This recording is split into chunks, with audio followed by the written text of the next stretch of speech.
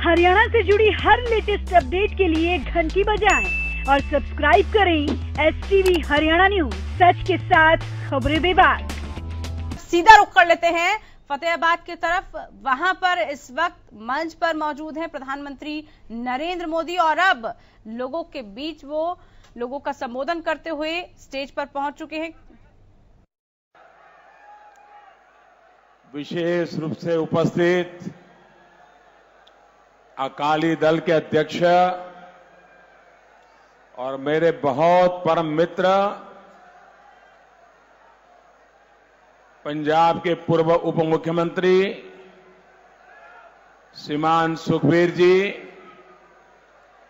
मंच पर विराजमान सभी वरिष्ठ नेतागण, इस चुनाव में भारतीय जनता पार्टी के सभी उम्मीदवार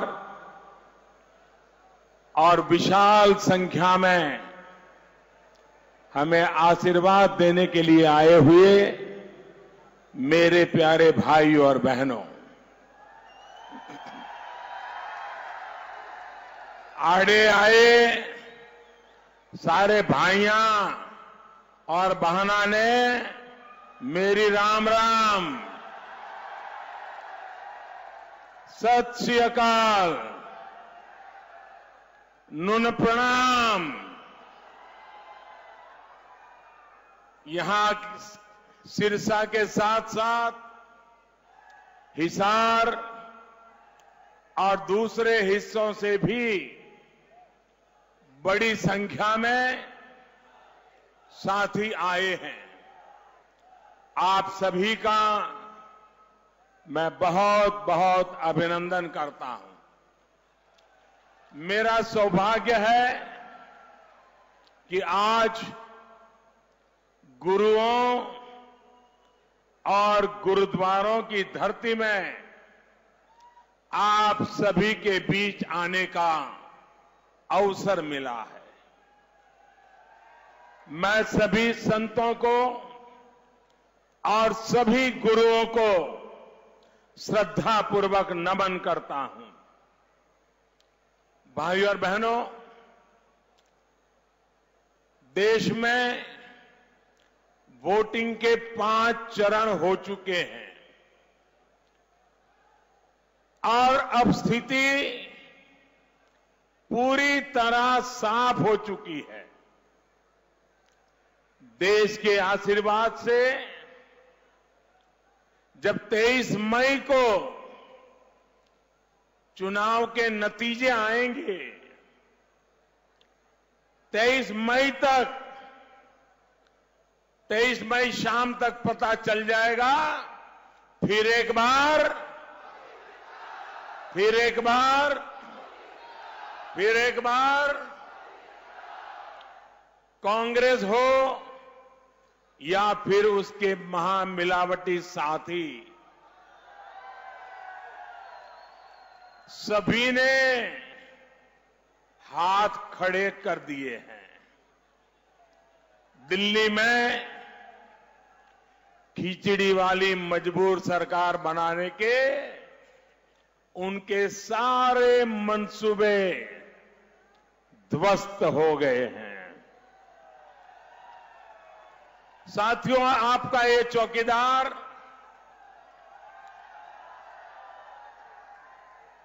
देश को जिताने के लिए, भारत को विश्व शक्ति बनाने के लिए दिन रात आपकी सेवा में जुटा है। 2014 में जो मज़बूत सरकार दिल्ली में आप सबके आशीर्वाद से मुझे सेवा करने का मौका मिला। उसके कारण ही दुनिया में आज हिंदुस्तान का डंका बज रहा है।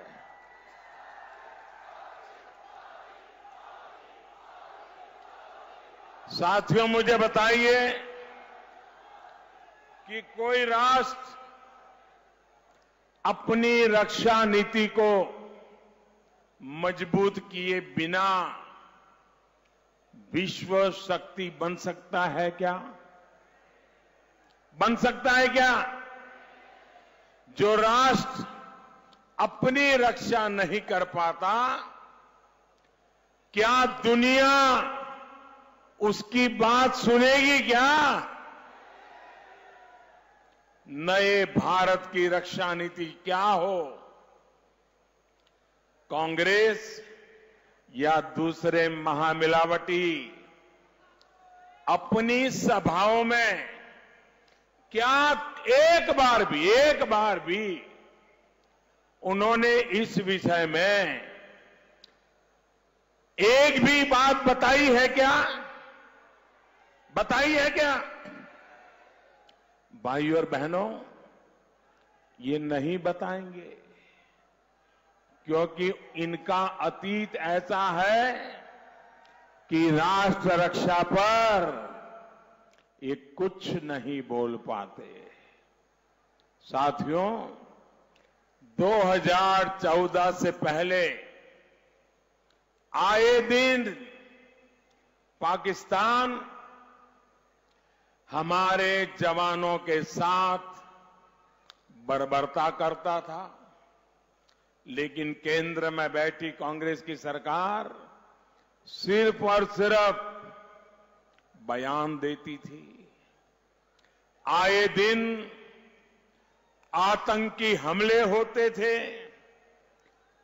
लेकिन कांग्रेस की कमज़ोर सरकार सिर्फ़ और सिर्फ़ बयान देती थी।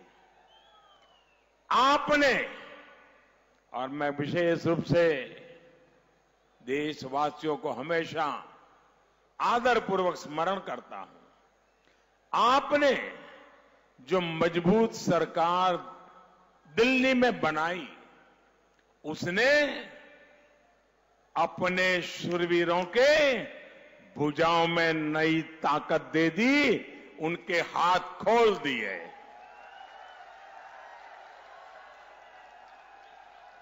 अब हमारे सपूत पाकिस्तान के भीतर आतंकियों के अड्डे में घुसकर मारते हैं।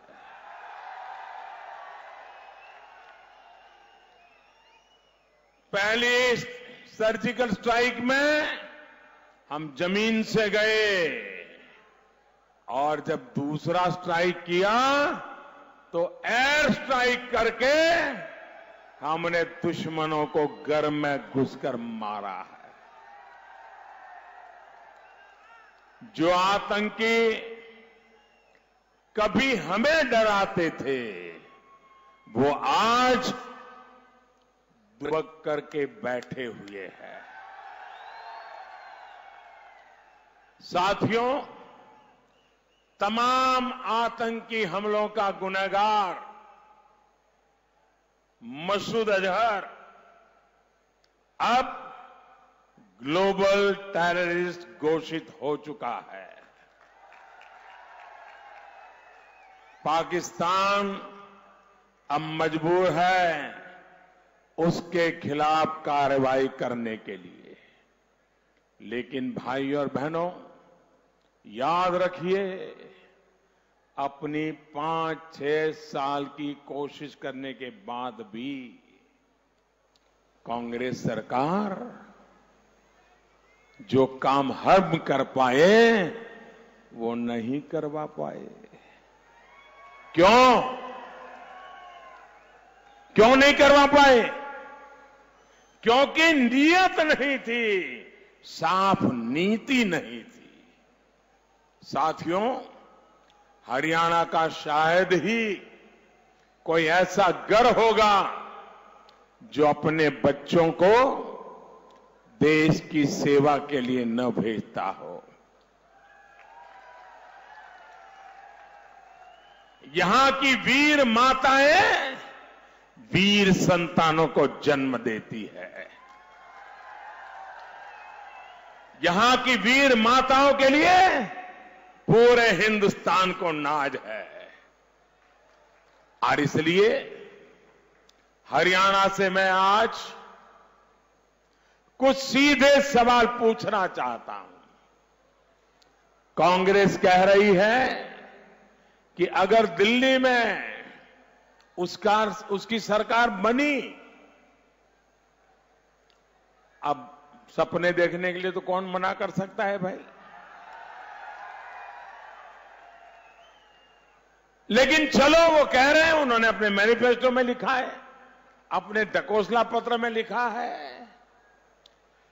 अगर दिल्ली में उनकी सरकार बनी तो जम्मू कश्मीर समेत जो हिंसा वाले इलाके हैं, वहाँ तैनात सैनिकों से, उनको जो विशेष अधिकार, एक सुरक्षा कवच मिला है फौजियों को कांग्रेस ने कहा है, आकर के उसको छीन लिया जाएगा। यानी जो पत्थरबाज है, जो आतंकवाद के समर्थक हैं, उनको खुली छूट देने का कांग्रेस सार्वजनिक रूप से बोल रही है। साथियों, भारत माता की जय बोलने पर ऐतराज जताने वाली कांग्रेस, अब देशद्रोह का कानून हटाने का भी वादा कर रही है। कांग्रेस चाहती है कि टुकड़े टुकड़े गैंग को, भारत को गाली देने वालों को, तिरंगे का अपमान करने वालों नक्सलवादियों के समर्थकों को खुली छूट मिले। मैं जरा हरियाणा के लोगों से पूछना चाहता हूँ, जिस धरती में आए दिन जवान मातृभूमि के लिए शहीद होते हैं, देश के लिए मर मिटने वाले लोग जिस धरती पर पैदा होते हैं मैं हरियाणा से पूछना चाहता हूँ, मैं आपसे पूछना चाहता हूँ, क्या कांग्रेस के ये वादे, ये आपको मंजूर है? आपको मंजूर है? आपको मंजूर है? भाई और बहनों, हमारे घरों के जो बच्चे फौज में जाते हैं, जो अर्धसैनिक बलों में जाते हैं पुलिस में जाते हैं। उनको कांग्रेस और उसके साथी किस नज़र से देखते हैं? जब आप सुनोगे तो आपका गुस्सा सातवां आसमान पर जाएगा, मैं बताता हूँ। इतना गुस्सा आएगा क्योंकि ये ऐसी भाषा बोलते हैं। बोलते हैं इतना नहीं वो इन चीज़ों को मानते हैं। मैं उनके एक मुख्यमंत्री का बयान सुना, बताता हूँ आपको। कर्नाटक में कांग्रेस एक सरकार चलाती है। उस सरकार के मुख्यमंत्री, जिस मुख्यमंत्री के पिताजी कुछ समय के लिए देश के प्रधानमंत्री भी थे, उस मुख्यमंत्री ने एक बयान दिया। बहुत गंभीर बयान है। इस एक बयान के कारण आने वाले सौ साल तक देश कांग्रेस को स्वीकार नहीं कर सकती है। ऐसा बयान दिया है। उन्होंने कहा है कि जिन युवकों को, सुनिए जरा, जिन युवकों को दो वक्त खाने के लिए रोटी नहीं मिलती है जो भूखे होते हैं, वो पेट भरने के लिए सेना में जाते हैं। भाइयों बहनों, ये सुनकर के आपको गुस्सा आया कि नहीं आया? आपको गुस्सा आया कि नहीं आया? आप मुझे बताइए, माताएँ बहनें, भाइयों बहनों, नौजवानों, बताइए, क्या मेरे हरियाणा का नौजवान, मेरे पंजाब का वीर पुत्र मेरे हिमाचल के नौजवान सेना में इसलिए जाते हैं कि उनको खाने के लिए दो वक्त की रोटी नहीं मिलती। अरे शर्म आनी चाहिए कांग्रेस के लोगों। आप जिस सरकार को चलाते हो, वहाँ का मुख्यमंत्री इस प्रकार से मेरे देश के वीरों का अपमान करता है। जो दुश्मन से देश की रक्षा करते हैं, जो माँ भारती के मान सम्मान के लिए जान की बाजी लगाते थे उन वीरों के बारे में कांग्रेस और उसके साथी इस प्रकार से सोचें, इससे बड़ा देश का अपमान क्या हो सकता है? इतना ही नहीं, ये कांग्रेस पार्टी हमारे देश के सेनाध्यक्ष को पब्लिकली कहते हैं, ये तो गली का गुंडा। हमारे वायुसेना अध्यक्ष, उनको कहते हैं कि झूठा है। ऐसा बोलकर कांग्रेस के नेता अपनी सच्चाई, भाइयों बहनों, वो बेनकाब हो चुके हैं कि इस प्रकार किस प्रकार के लोग हैं। साथियों, इस चुनाव में आपको और उसके साथियों को इस मानसिकता की भी सजा देनी है। भाइयों और बहनों, कांग्रेस कैसे देश की रक्षा करने वालों को धोखा देती है, वो भी आपको याद दिलाता हूँ। कांग्रेस ने आपसे वादा किया था कि वो वन रैंक, वन पेंशन लागू करेंगे। ये वादा करते करते उसने 40 साल निकाल दिए, चार दशक निकाल दिए। जब देश के जवानों ने, उनके परिवारों ने दबाव बनाया तो 2013-14 में चुनाव के पहले पहले जो एक अंतरिम बजट आया, उस बजट में उन्होंने 500 करोड़ रुपया रखा बजट में, कागज़ पे लिखा और कह दिया, कांग्रेस ने चारों तरफ़ डोल पीटने लगे। उनके नामदार पूर्व सैनिकों के सम्मेलन कर करके मालाएँ पहनने लगे और कहने लगे, हमने वन रैंक पेंशन वालों को लागू कर दिया, वन रैंक वन पेंशन लागू कर दिया। भाइयों बहनों, ये कितना बड़ा धोखा था। उन्होंने 500 करोड़ रुपया दिया। कितना झूठ बोलने की इनकी ताकत है। वो देश की जनता को कितना मूर्ख मानते हैं। और देश के जवान जो ईमानदारी से माँ भारती के लिए मरना यही उसको सिखाया गया है। आप उसके पीठ में छुरा भोंकते हो। आप उसके आँखों में धूल झोंकते हो। भाइयों बहनों, सिर्फ़ 500 करोड़ देकर के बातें करने वाले लोग और वो भी कागज़ पे। बजट में से तो कहीं निकला नहीं, एक नया पैसा नहीं निकला। हम आए, हमने वादा किया था, हम वन रैंक, वन पेंशन लागू करेंगे। मैंने सारी फाइलें निकाली, कागज़ निकाले, मैंने कहा, भाई 500 करोड़ रुपया है, इस बार दे दीजिए। जब हिसाब किताब लगाया, वन रैंक, वन पेंशन के लिए, जब हमने लागू किया तो अब तक पैंतीस हज़ार करोड़ रुपया सेना के परिवारों में हमने पहुँचाया। कहाँ 500 करोड़ का झूठा वादा? और कहाँ पैंतीस हज़ार करोड़ रुपये दे दिए उनके खाते में जमा हो गए। ये कितना झूठ बोलते हैं। और देश की भोली भाली जतना ने इनके इस झूठ को सच मान करके, आँखें बंद करके उनके थैले भर दिए और उसी के कारण आज देश को रोने की नौबत आई है भाइयों। साथियों, देश की रक्षा करने वालों से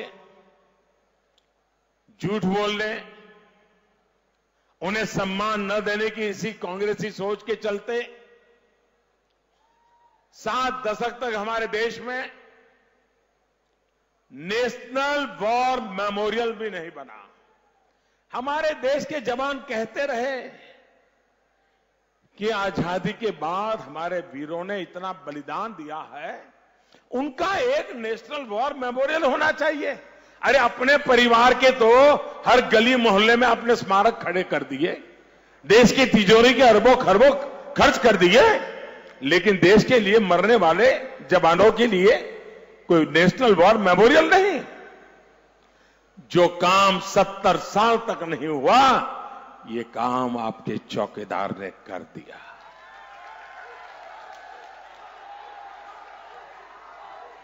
और मेरा तो हरियाणा से आग्रह है, जिन जिन गाँवों में आज़ादी के बाद जो भी शहीद हुए हैं, उनके परिवारजनों को लेकर के उस गाँव के लोगों ने नेशनल वॉर मेमोरियल पर जाना चाहिए। और अपने गाँव के जो वीर शहीद है, उसके नाम के सामने एक फूल चढ़ाकर आपको भी आना चाहिए। ये मेरी हरियाणा, पंजाब और हिमाचल के लोगों से विशेष प्रार्थना है। क्योंकि ये इलाका है जिसने देश के लिए बहुत बलिदान दिए हैं। भाइयों बहनों, और एक बात। कभी कभी हम लोग मानसिक अवस्था के कारण ये जो पुलिस के जवान खड़े हैं ना, उनको अपमानित करते हैं। उनको नीचा दिखाते हैं। उनको बुरा भला कहते हैं। सिनेमा वाले भी सिनेमा बनाएँगे तो पुलिस वाले को सबसे बदला बताते हैं। इतना देश का नुकसान हुआ है और एक सत्य कभी बाहर नहीं आया। मुझे इसकी बड़ी, बड़ा दर्द होता था जी। और इसलिए मैंने लाल किले से एक बार बोल दिया था। आप जान करके हैरान हो जाएँगे कभी कभी हमें पुलिस वालों से भिड़ जाते हैं, लेकिन कभी सोचा है, ठंड हो, पुलिस वाला खड़ा है। कितनी ही गर्मी हो, पुलिस वाला खड़ा है। राखी का त्योहार है, पुलिस वाला खड़ा है। घर में शादी ब्याह है, वो ड्यूटी पे गया हुआ है। हम इन चीज़ों को ध्यान ही नहीं देते हैं। इससे भी बढ़कर, इससे भी बढ़कर हम सामान्य लोगों की रोज़मर्रा की ज़िंदगी बचाने के लिए, हमारा मोबाइल फ़ोन चोरी हो जाए तो हम तो जाके सो जाते हैं। वो बेचारा जाग करके मोबाइल फ़ोन कैसे वापस लाओ, इसके लिए दौड़ा धूप करता है। हमारी रक्षा के लिए आज़ादी के बाद देश के पुलिस जवानों ने तैतीस हज़ार पुलिस शहीद हुए। तैतीस हज़ार? यह आंकड़ा छोटा नहीं है। तैतीस हज़ार पुलिस वाले शहीद हुए। वो कहते रहे कि एक नेशनल पुलिस मेमोरियल बनना चाहिए। ये कांग्रेस लोगों ने, इनके महामिलावटियों ने पुलिस के कंधों पर बंदूकें तो बहुत फोड़ी, लेकिन उनको सम्मान नहीं दिया। ये काम भी इस चौकीदार ने किया है। पुलिसों का मान सम्मान बढ़ाने के लिए मैं पूरी ताकत से लगा हुआ हूँ। और उसके लिए भी मैं हरियाणा के लोगों को कहूँगा कि आपके क्षेत्र के भी आज़ादी के बाद कई पुलिस जवान शहीद हुए। आपने जाना चाहिए। जाकर के उन पुलिस के परिवारों को आपने ज़रूर एक फूल चढ़ा के आना चाहिए भाइयों। भाई और बहनों, कांग्रेस को ना तो जवानों के सम्मान की फ़िक्र है और कभी नहीं और ना ही किसानों के सम्मान की। इन्होंने तो किसानों की ज़मीन पर भी भ्रष्टाचार की खेती की है। सबूत देश के सामने है। सबूत हरियाणा के सामने है। हरियाणा और दिल्ली में जब भी कांग्रेस की सरकार थी, तब कैसे कौड़ियों के भाव पर किसानों की ज़मीन हथियाने का खेल खेला गया। आप सभी जानते हैं। आप सभी के आशीर्वाद से किसानों को, लूटने वालों को ये चौकीदार कोर्ट तक ले गया है। जमानत के लिए चक्कर काट रहे हैं। ईडी के दफ्तर के जूते घस रहे हैं जी। वो मानते थे, हम तो शहनशाह है, हमको कोई हाथ नहीं लगा सकता। और अब पीड़ा हो रही है, एक चौकीदार, एक चाय वाला, अब परेशान है। भाइयों बहनों, जेल के दरवाजे तक तो ले गया हूँ। इस बार आशीर्वाद दीजिए। आने वाले पाँच साल के अंदर अंदर कर दूँगा जी। आपके आशीर्वाद चाहिए बस। देश को जिन्होंने लूटा है, उनको लौटाना ही पड़ेगा। साथियों, भाजपा की सरकार देश के किसान के लिए, देश के जवान के सम्मान के लिए समर्पित है। किसानों के हक के लिए आवाज़ उठाने वाले भारत की कृषि नीति और अपनी छाप छोड़ने वाले सर छोटू राम जी की भव्य प्रतिमा का अनावरण करने का सौभाग्य मुझे कुछ महीने पहले ही मिला था। साथियों, लेकिन यहाँ इसी धरती से कुछ हफ़्ते पहले सार्वजनिक मंच से एक नेता ने कहा कि जो भी देश के गद्दार है, उन्हें अंग्रेज़ों ने सर की उभाती दी थी। भाइयों बहनों, उसके बाद उनके एक और बड़े नेता ने इसका समर्थन किया। क्या मेरे हरियाणा के लोग सर छोटू राम के इस अपमान को बर्दाश्त करेंगे? सर छोटू राम के इस अपमान को बदनाम करेंगे? सर छोटू राम के इस अपमान को बदनाम कर अब, अब स्वीकार करेंगे क्या? अरे सर छोटू राम जैसे हमारे नायकों के आशीर्वाद से ही हम 2022 तक किसानों की आय दो गुना करने का संकल्प पूरा करने वाले। पीएम किसान सम्मान निधि से छोटे किसानों के बैंक खाते तक सीधी मदद पहुंचनी शुरू हो चुकी है। हमने ये संकल्प लिया है कि 23 मई को जब चुनाव के नतीजे आएँगे, जब फिर एक बार, जब फिर एक बार फिर एक बार, तब हरियाणा के हर किसान परिवार के खाते में हर वर्ष साल में तीन बार सीधी मदद पहुंचेगी। इतना ही नहीं, जो छोटे किसान हैं, खेत मजदूर है, छोटे दुकानदार हैं, उनको 60 साल के बाद नियमित पेंशन भी मिलेगी। साथियों, किसान की खेती पर लागत कम हो, इसके लिए भंडारण की एक बहुत बड़ी व्यवस्था हम खड़ी करने वाले हैं। गाँव के पास ही किसान अपनी उपज का भंडारण कर पाए, इसके लिए ग्राम भंडारण योजना पर विस्तार से काम किया जाएगा। अन्नदाता अब ऊर्जा दाता भी बने, इसके लिए डीजल पंपों को सोलार एनर्जी से चलने वाले सौर पंपों में बदलने का व्यापक अभियान हमने छेड़ा है। भाइयों और बहनों, एक तरफ़ किसानों के हितों के लिए जहाँ हम पूरी ईमानदारी से काम कर रहे हैं, वहीं कांग्रेस ने झूठ और दुखे की नीति अपना रखी है। कर्ज माफ़ी के नाम पर उसने राजस्थान में, मध्य प्रदेश में किसानों के साथ कैसे छलावा किया। कैसे उनको छला है? अब इसकी चर्चा हर तरफ़ हो रही है। वही स्थिति यह है कि किसानों को कोर्ट से नोटिस मिल रहे हैं और उन्हें जेल जाने की नौबत आ गई है।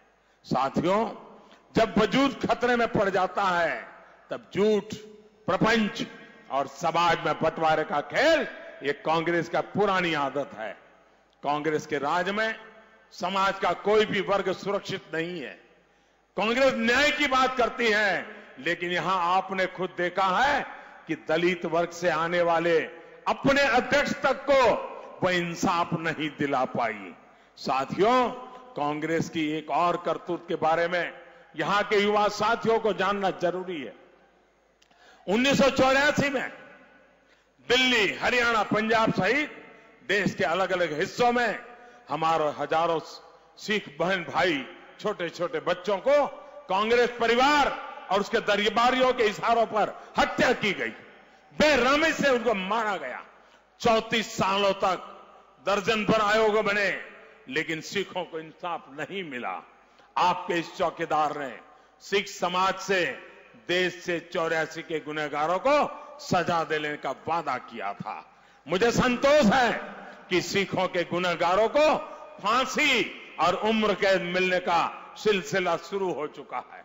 लेकिन ये बेशर्म कांग्रेस उन लोगों को आज भी इनाम दे रही है, जो उस पाप में हिस्सेदार रहे हैं। सिख दंगों में जिस पर सवाल उठे हो, उसे मध्य प्रदेश का मुख्यमंत्री बनाकर कांग्रेस ने साफ़ कर दिया है कि उसे आपकी भावनाओं की कोई परवाह नहीं है। भाई और बहनों कांग्रेस का इतिहास ही आपकी भावनाओं को नजरअंदाज करने का है।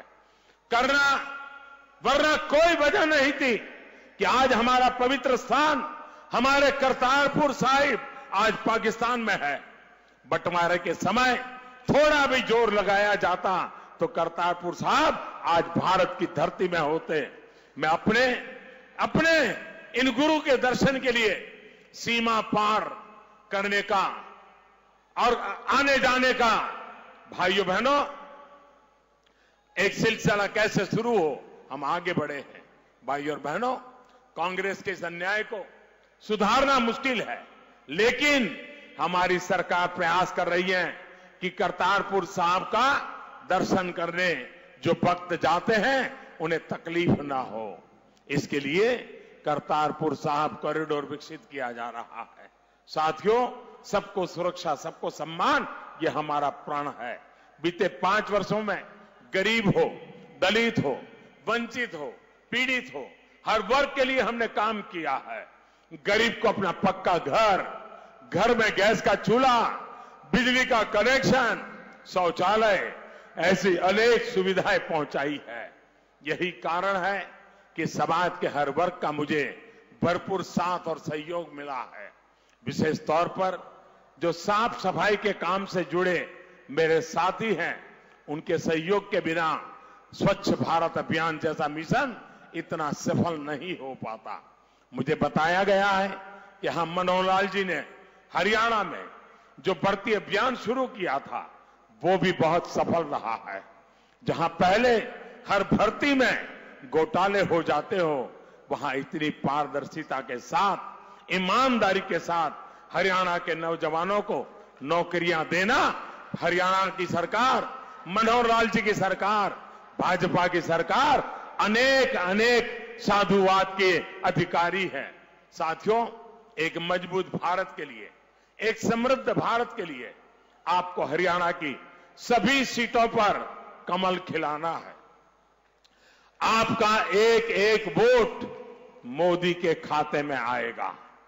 दिल्ली में एक मज़बूत सरकार बनेगी, पूर्ण बहुमत की सरकार बनेगी। तो मुझे भी आपकी सेवा के लिए खुलकर काम करने का अवसर मिलेगा। एक बार फिर आप सभी का इतनी बड़ी तादाद में आकर के हम सबको आशीर्वाद देने के लिए मैं हृदय से आपका आभार व्यक्त करता हूँ। मेरे साथ पूरी ताकत से बोलिए, भारत माता की। दोनों हाथ ऊपर करके मुट्ठी बंद करके पूरी ताकत से बोलना है। भारत माता की। भारत माता की। भारत माता की। बहुत बहुत धन्यवाद।